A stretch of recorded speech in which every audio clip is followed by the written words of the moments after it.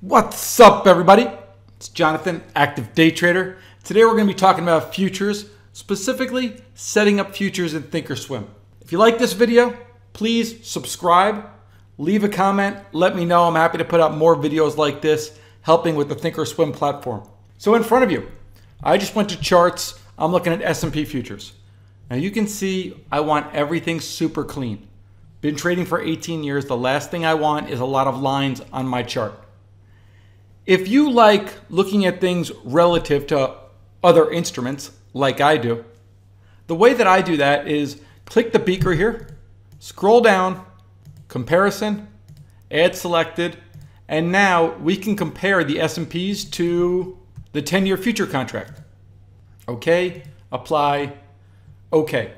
And we look at it like that where the S&P is going to be this yellow and the 10 year is going to be the pink. If we wanted to look at contracts that are more correlated, we could look at the 30 year against the 10 year. When I'm looking for different futures to trade, I like to just go to this caret, go to the futures, and then it's got all the drop down right here. You can see anything you want to do an analysis against. So if I want to analyze the ZN futures against, let's say the VIX, it looks like that. But you can probably see that these aren't very correlated, right? In fact, they seem to have a reverse correlation. What I like to do in that circumstance, again, go to your beaker, and if you're looking at ZN, what about if you flip the ZN around? Just put a minus sign. That's going to invert it. So instead of looking at it as being negative correlated, you might see it as being positively correlated. You could really see that if I take out the 10 year and I put in the S&P. So S&P against the VIX will have a negative correlation, but if you invert one of them, it'll have a positive correlation.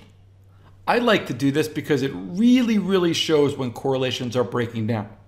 That's one way of comparing things. The other way you can compare two instruments, you could just go ZN minus ZB and create it as one line. What we do when you're trading bond futures, if you're going to be trading the 10 year against the 30 year, the proper ratio is not one to one. The proper ratio is actually going to be three to one. The way that you do that with a ratio is just go forward slash ZN times three minus ZB. And whenever I'm doing this, I like to look at things from a line. I just personally think it presents better. And what this is showing, this is notes over bonds, or we call this the NOB. The 10 year times 3 minus ZB.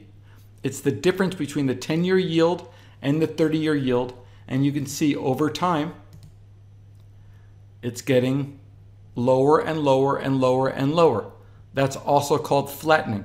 What you're witnessing here is the difference between the 10 year yield and the 30 year yield are getting closer and closer and closer together.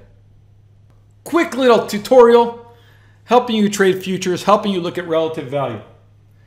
If you haven't yet taken up your opportunity to try a free week of active day trader service, in the description below, I'll leave a link. Click on the link, try a free week, no credit card required, see if it works for you. Thanks, Jonathan. I'll see you on the inside.